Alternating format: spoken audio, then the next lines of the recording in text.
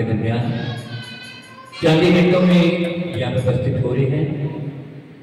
और सभी से गुजारिश है कि माता देखकर व्यक्तिगत बांधा कर